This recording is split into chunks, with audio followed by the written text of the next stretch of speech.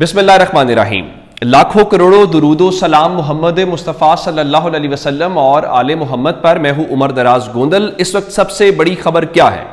सबसे बड़ी खबर यह है कि इस्लामाबाद में डंडे के ज़ोर के ऊपर भी वो कह रहे हैं कि हमने दफ़ा एक सौ चवालीस लगा के भी, डंडा चला के भी हमने आईनी तरमीम करनी है।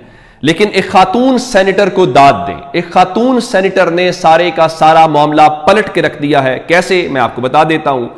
एक सेनेटर है नसीमा एहसान साहिबा। उनका ताल्लुक बीएनपी मैंगल ग्रुप से है अख्तर मैंगल साहब के ग्रुप से। कल उनके मुतालिक बताया गया था कि उनको उनके घर में महसूर किया गया। आज वो ऐवान के अंदर आई और ऐवान में आने के हवाले से आ, उनके ऊपर ये उनसे पूछा गया कि क्या ऐवान में अगर तरमीम आती है तो आप वोट करेंगी? क्या आप पे दबाव है? तो उन्होंने सहाफियों को राह गुजरते हुए कहा कि आपको पता है कि प्रेशर है। लेकिन बात यहाँ तक बनती तो और बात थी। उसके बाद जो सेनेटर साहिबा है, वो खड़ी हुई ऐवान के अंदर और वो तहरीक इंसाफ की सेनेटर नहीं है, वो जेयूआई की सेनेटर नहीं है, वो बीएनपी मैंगल ग्रुप की हैं और उन्होंने कहा कि पार्टी सदर से बात करें, यानी अख्तर मैंगल साहब से बात करें जो कि मुल्क से बाहर है। उनके मुतालिक ये आ रहा है कि वो मुल्क में वापस आ रहे हैं। उन्होंने फैसला कर लिया और वो कौमी असम्बली से इस्तीफा दे चुके हैं। उनके दो सेनेटर्स हैं और उन्होंने कहा कि हम इस्तीफे दे देंगे, अगर आप इस तरीके से करेंगे। तो उन्होंने ये कहा कि मसाइल हल हो सकते हैं, पार्टी सदर से बात करें, मसाइल को मजीद गहरा ना करें। अगर बात यहाँ तक रहती तो बात कुछ और थी। आपको पता है कि वो senator floor of the house के ऊपर रो पड़ी और आप दीदा हो गई। दुनिया के किसी मुल्क के अंदर। क्या इलेक्टेड नुमाइंदे इस कदर बेबस होते हैं जिस तरह हमारे मुल्क के अंदर था?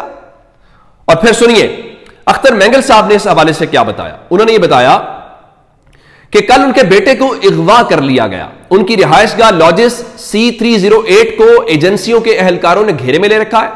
आज सुबह छह बजे उनके शौहर सैयद एहसान शाह, जो कि सबक सूबाई वज़ीर और सबक सेनेटर हैं, उनको लॉजिस से ले जाया गया।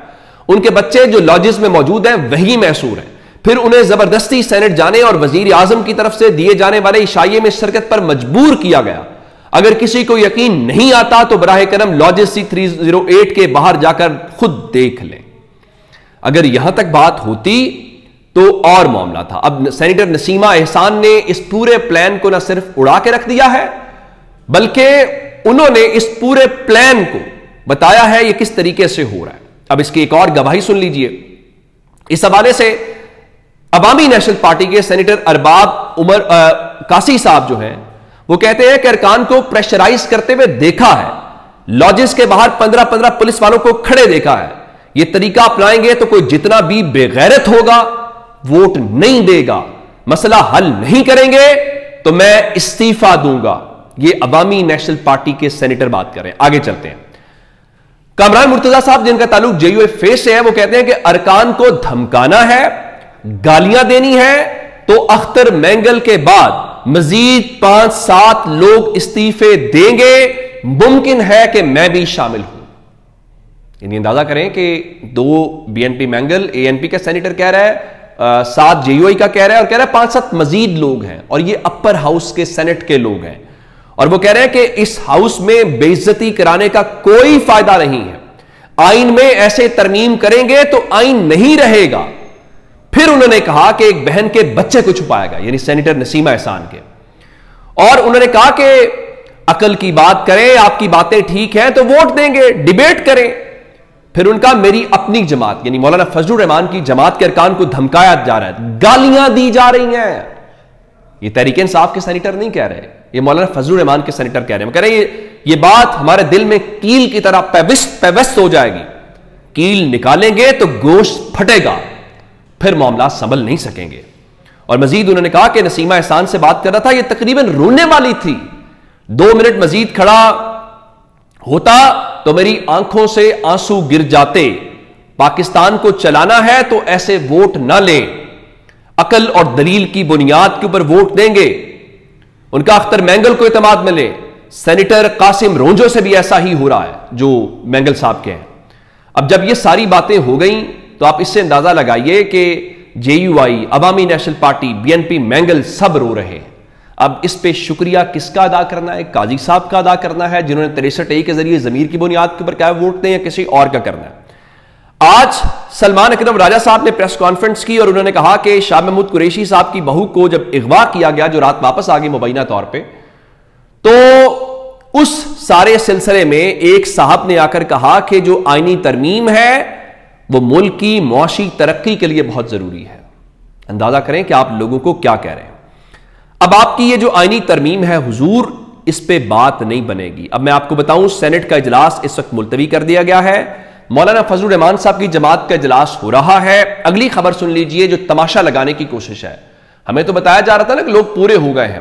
अब इलेक्शन कमीशन का इजलास हुआ है और उनके लीगल विंग ने ब्रीफ किया है। और अगली खबर यह सुनिए कि उस लीगल विंग की ब्रीफिंग के बाद, अब जनाब उन्होंने ये फैसला किया, कल फिर इजलास बुलाया जाएगा। और आपको पता है इजलास को बुलाया जा रहा है? इम्कान यह है कि इलेक्शन कमीशन कल कहीं जो मखसूस सीटें हैं, वो हुक्मरान इतिहाद को अलॉट ना कर दे और सीटें अलॉट करने के साथ आप क्या करेंगे? कि आप उनका नंबर पूरा कर देंगे। और फिर उस नंबर के ज़रिए तिरसठ ए में भी तरमीम कर देंगे और बाकी सारा तमाशा भी लगा लेंगे। और फिर मौला साहब की तो ज़रूरत नहीं रहेगी और इस तरह से मामला सारा सुप्रीम कोर्ट से निकाल के आईनी तरमीम के ऊपर चला जाएगा।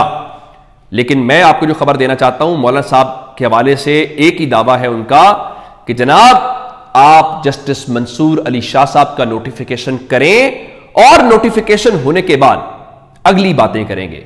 अब कल जो इजलास है उस हवाले से बताया गया है इरफान सिद्दीकी साहब कह रहे हैं जी कल सेनेट में छब्बीसवीं आईनी तरमीम लाई जाएगी। आईनी बेंच पे इतफाक है वो तो सब कह रहे हैं मैं भी कहता हूँ आईनी बेंच का तो कोई इशू ही नहीं है। लेकिन आ, अब वो कहते हैं कि मौलाना साहब की इस वक्त जो फरमाइश यही है कि जस्टिस मंसूर अली शाह साहब वरना किसी सूरत भी कोई बात नहीं बनेगी। फिर उधर ए एन पी ने एक तजवीज़ लाई कि खैबर पख्तूनखा जो सूबा है उसके नाम से खैबर निकाल दें। तो जो है तरीके इंसाफ उसने मुखालफत कर दी। अब यह डेवलपमेंट है, कल पंजाब की खबर सुन ले। तरीके इंसाफ ने कल मुल्क गिरे, तजाज की कॉल दे रखी है। अब कल लाहौर में उन्होंने लिबर्टी के ऊपर कॉल दी है। पूरे पंजाब में एज ऑफ़ दिस मोमेंट दफ़ा एक सौ चवालीस नाफिज कर दी गई है, पूरे सूबे में अगले दो दिन के लिए। और उसके बाद पंजाब के कल जो सरकारी कॉलेजेस और यूनिवर्सिटीज हैं, जुमे के दिन उनमें सरकारी छुट्टी का ऐलान कर दिया गया है। अब कल उनका एहतजाज होगा, नहीं होगा, एहतजाज बड़ा होगा, एहतजाज छोटा होगा यह तो फैसला होगा कल। लेकिन जब ये दोनों चीज़ें होंगी तो इसका मतलब क्या है? इसका मतलब यह है कि जो गवर्नमेंट है, वो परेशान है और वो पैनिक्ड है। जब इस किस्म की आप चीज़ें करते हैं तो एहतजाज करने वालों का एहतजाज पहले ही कामयाब हो जाता है। और मैं उसकी वजह आपकी बता देता हूँ कि अब इस तक जो इख्तलाफ है सब आपको कह रहे हैं जी आईनी मामला पे इतफाक हो गया ये बात ठीक है। आ, असल मामला ये है कि जजेस पैनल पे मसला है आर्टिकल आठ पे मसला है आर्टिकल 200 जो तैंतालीस है उस पर मसला है। अब उन्होंने वो कहा कि जो जजेस के पैनल का इतलाक आप करना चाहते हैं वो आप जस्टिस मंसूर अली शाह साहब का नोटिफिकेशन जारी कर दें और उसके बाद पैनल जारी हो जाएगा। इससे क्या होगा? इससे ये अफवाहें टूट जाएँगी कि आप जस्टिस मंसूर अली शाह साहब को माइनस करना चाहते हैं, या कोई बदनीति है, या कोई और एलिमेंट है। तो इससे चीज़ें क्लियर होगी। मेरे ख्याल से गवर्नमेंट को भी नेक नीति से पाकिस्तान इसे अफोर्ड नहीं करता। हम सब, देखें, हमारे ऊपर आपने मुकदमात बनाने थे, बन गए। एफ़ आई आर कर दी हमारे ऊपर। बिस्मिल्ला पाकिस्तान कल भी जिंदाबाद कहते थे, आज भी कहेंगे, आइंदा भी कहेंगे। हम पले बड़े इस मुल्क के अंदर हैं, हमने मरना इस मुल्क के अंदर है, हमने दफन इस मट्टी के अंदर होना है, हमारी अपनाइत है इस मुल्क के साथ। हम कोई भी नहीं कहना चाहता कि पाकिस्तान के, हम तो पाकिस्तान की बेहतरी की बात करते हैं। सच बोलना मुल्क के लिए होता है और रियासत माँ जैसी है। तो हम ये नहीं कह रहे, इसलिए पाकिस्तान का सोचे, हमारे ऊपर एक की बजाय 101 मुकदमा दर्ज कर लें। हमें सजाएँ दे दें, हमें लटका दें, लेकिन पाकिस्तान को सुरखरू होने दें। अपना बहुत सारा ख्याल रखिएगा। खुदा हाफिज।